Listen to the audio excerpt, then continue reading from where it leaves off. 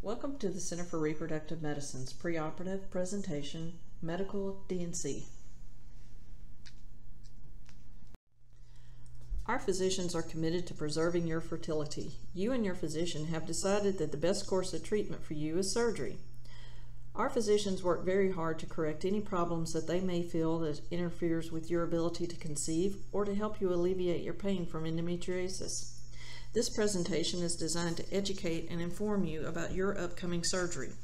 Please be aware that your surgery may include more or less than what is, will be covered in this general overview.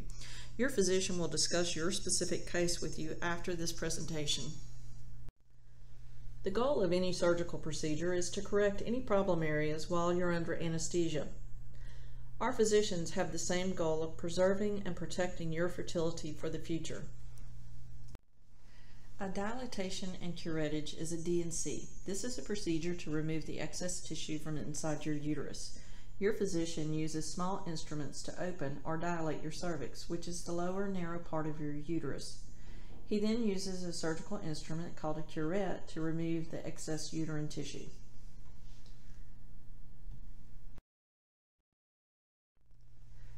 What should I expect to do after I leave the office? You'll need to go to the Mobile Infirmary Medical Registration Office after your appointment today for your pre-op testing for blood work. You should not have any alcohol 24 hours prior to surgery. This includes beer, wine, or any mixed drinks.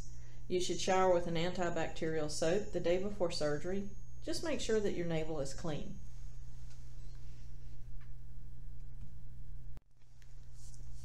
The day before surgery, we encourage you to eat a light supper the night before your procedure, soups and salads. Remove all fingernail and toenail polish. Clear nail polish on acrylic nails is acceptable. The day of surgery, you will arrive at the Mobile Infirmary Medical Center two hours prior to your surgery. It's important that you not drink or eat anything after 12 midnight the morning of your surgery. This means no water, no gum, no candy, or any mints. You can brush your teeth, but just don't swallow any of the water. Don't take any morning medications the day of your surgery unless instructed to by the physician. Talk to a nurse at your pre-op if you are on blood pressure medications. Don't bring any valuables with you to the hospital. Any removable teeth or dentures must be taken out prior to surgery. The day of your surgery, you should wear loose fitting clothes to the hospital. You should not wear makeup, no contact lenses, no nail polish or jewelry. Please remove all body piercings.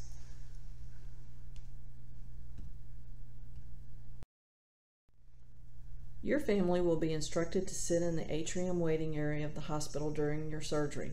Someone from your family must be present throughout the surgery. Your physician will come out and speak to your family after the surgery. He will give your family a brief overview of your condition at that time. The day of surgery, you must have someone to drive you home from the hospital.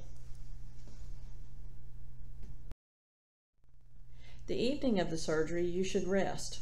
You should take it as easy as possible the day after your surgery as well. It's easy to overdo it. There are no restrictions the day after your surgery, but you should limit your activity for the first 48 hours after surgery.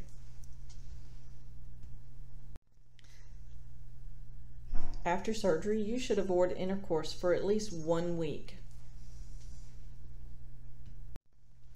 It's normal to experience cramping or bleeding after surgery.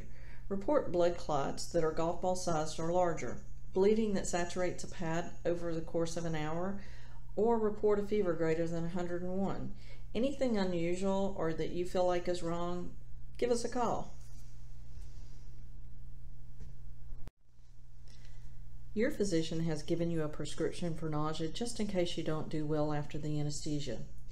Anesthesia effects can last for several days in some patients. Call us if you're having unresolved nausea or vomiting. Common complaints after surgery are body pain, headaches, or even a sore throat from the breathing tube. Your next menstrual period can come sooner or later than what's expected. Your period can be heavier than normal or even lighter than what is normal for you. Call your nurse with any questions you might have. You can resume your regular diet after surgery. Dry foods and liquids are best if you're nauseated. Use stool softeners such as Dulcolax for relief. Colace and mild laxatives can help with constipation caused by your pain medications. We will give you a prescription for your pain medication today.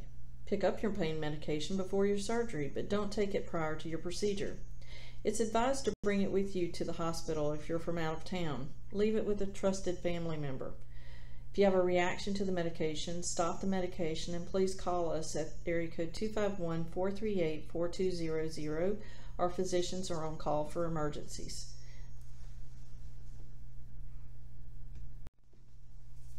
Don't use any aspirin containing products for three days following the surgery.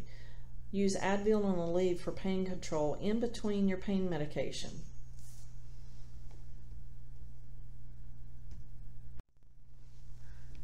After your surgery, avoid tub baths for at least two weeks. This means no swimming or jacuzzis for the next two weeks as well. Showers can be taken the day following surgery. When will I find out the results of my surgery? Your physician will give your family a brief overview of your well-being after the surgery. You'll get the results of your surgery findings at your post-op appointment. This post-op appointment should be made by your nurse today before leaving our office. It should be approximately two weeks after your surgery.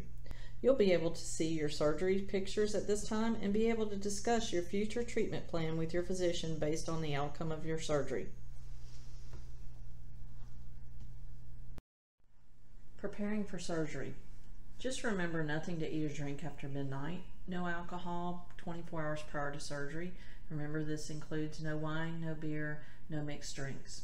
Have a driver arranged for the day of surgery and make sure that you make your post-op appointment with your nurse today before you leave our office.